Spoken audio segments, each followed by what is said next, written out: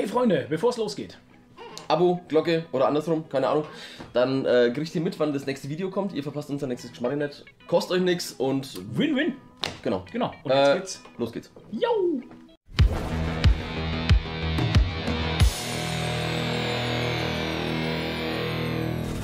Hallo und herzlich willkommen zu einer neuen Comic Review. ähm, es ist noch gar nicht lange her, ich glaube vor einer oder zwei Wochen äh, wurde die krasse News gedroppt, dass die Comicreihe The Walking Dead zu Ende ist. Und ähm, Nach wie vielen? 158 oder so? 193 Heften Genau.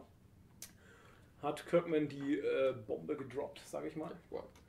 Und ähm, ja, wir fangen jetzt damit an. Ha! Wie gut ist das denn? Ähm, Wir fangen an mit The Walking Dead Band 1. ja, gleich eins dazu. Ist diese 109, 193, 193, ist das. Nee. nee, nee. Wie, wie Ja, viel klar. ist das? Ah, hier, 1 bis 6.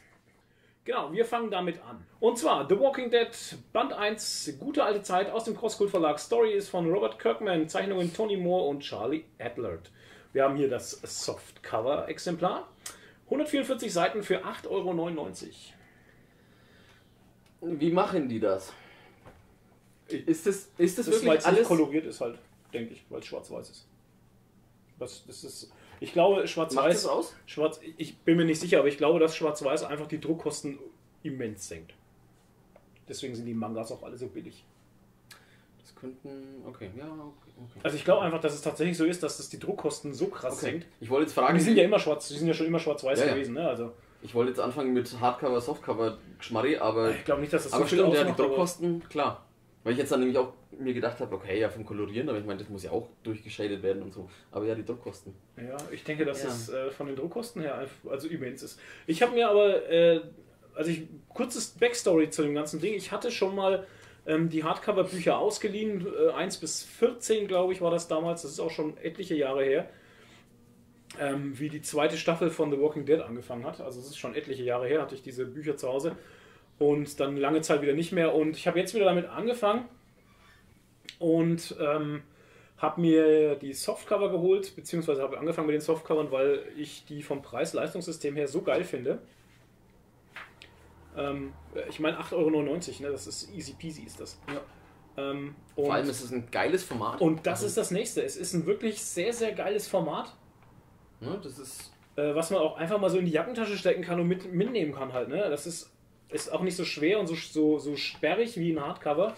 Ähm, da zahlen sich die Softcover-Vorteile mal richtig aus, Mhm. finde ich.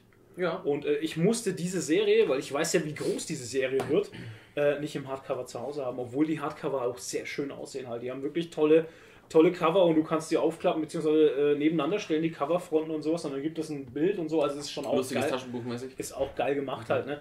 Aber ähm, mir taugt es jetzt hier erstmal, wirklich. Ja, also ich finde es echt super gemacht. Vom, Ja. So von der Aufmachung her und auch so von der, von der Qualität, vom Papier Ja, und so. ist schön, kann man nichts sagen, gell? Es ist zwar, ich würde sagen, ein dünneres Papier, Mhm. aber es ist trotzdem noch fest genug und auch, Ja, noch wertig, also So man hat noch einen wertigen, wertigen Eindruck, ne? ja, Das, und so der Einband ist auch Ja. stabil und also ja, Ja, ich, ich finde es äh, find's einen guten Wert für die 9 Euro, ja.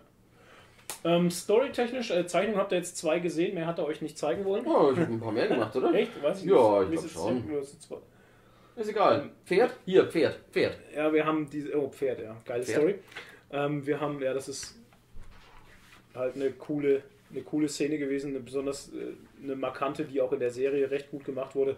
Ähm, Im Comic ist es aber anders. Ähm, wir haben hier Charaktere, die. Ähm, Gibt es in der Serie nicht. Die es gibt's in gibt der Serie nicht, in der Serie in der gibt's- Serie, die gibt's, die genau, gibt's nicht. richtig. Und äh, das macht den Comic eigentlich, auch wenn man jetzt sagt, ja, ich habe die Serie gesehen ähm, und den Comic aber nicht gelesen, das macht den Comic deshalb schon sehr interessant. Und es macht es für uns unfassbar schwer, auch nur Ja. irgendwas darüber zu erzählen. Weil äh, selbst der erste Band ist schon in vielen Details so Anders. anders als die halt. Serie. Ja. Das, äh, äh, Ist schwierig. Ähm, gute alte Zeit. Ähm, es überschneiden sich ein paar Sachen mit der Serie. Das ist also, dass halt äh, Rick in einem Krankenhaus aufwacht, dass er halt äh, den Weg zurück macht, dann in der Stadt ist, auf Glenn trifft. Allerdings ist äh, hier schon mal der Unterschied, dass Rick sich nicht im Panzer versteckt zum Beispiel. Ähm, die Szene gibt es im Comic so nicht. dass er sich da verstecken muss. Ähm, dann trifft er äh, auf das Camp mit Glenn, dann kommt er zu seiner Frau wieder zurück. Das ist ziemlich gleich wie in der Serie. Allerdings haben wir hier schon andere Charaktere dabei. Und Charaktere, die gar nicht da sind. Daryl zum Beispiel. Es gibt ja keinen Daryl hier. Also das ist. Und ähm, nur mal so für, für, den, für den Ablauf der Story. Der erste Band, ich habe jetzt mal kurz nochmal nachgeschaut, weil ich, das ist- ohne Scheiß, das macht mich echt wahnsinnig, auch beim Ja. Lesen schon. Der erste Band endet, als Karl angeschossen wird. Genau. Aber- Das ist ja bei uns schon die zweite Staffel. Das ist bei uns irgendwann in der zweiten Staffel. Aber jetzt nur mal so das ist dieses. schon die erste Folge oder zweite ist das schon. Echt? Ja. Okay.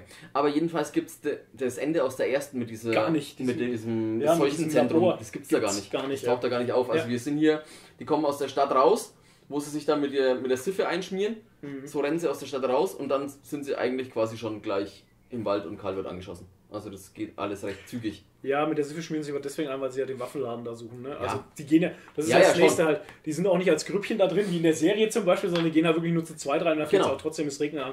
Und dann kommen sie zurück, dann gibt es diesen Zombie-Überfall auf das Camp und dann hauen Den sie gibt es auch noch. Genau. Ja, aber wie gesagt, es gibt danach halt nichts. Die reisen da Ja, noch irgendwie rum oder so, wie es im, im ersten. Ein paar Leute sterben auch, das spoilere ich jetzt aber nicht den Leuten, die den Comic noch nicht gelesen haben, weil das ist zur Serie völlig anders.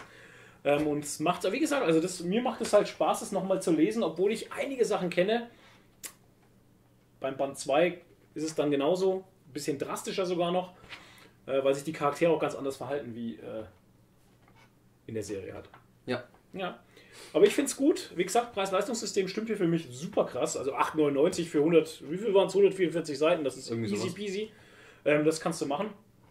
Das ist dann sogar in dem Budget drin, wo man sagen kann, okay, man kauft gleich drei oder vier, ne? Und ist dann mal irgendwie. Hat er noch ein bisschen was zum Lesen. Genau. Ähm, ja, ich finde es gut. Mir gefällt's. Schöner Einstieg wieder in diese Serie, auch wenn sie jetzt überall aufhört. Die Serie hört ja auch auf. Staffel 10, glaube ich, sind wir jetzt. Irgendwie. Keine Ahnung. Ja. Ich habe jetzt die letzte gesehen, aber ich weiß gar nicht, was, welche Nummer das war. War das Neun. genau neun? Das war 9, ja. Das Ja. war 9 mit den Whisperern. Ja. Ja, mir hat's gefallen, hat Spaß gemacht. Ja, schon. Back in Zombieland. Nee, das ist wieder was anderes. Okay, wir schlurfen von dann. Das war's von uns, würde ich sagen. Wir schlurfen von dannen. Und sehen uns demnächst wieder bei einer neuen Review. Ich schmeiß schon mal alles weg. Jawohl, Haus davon. Yeah! bleibt lieb, bleibt nerdig, hebt die Haare. Bis demnächst. Ciao, ciao. Ade mit dem.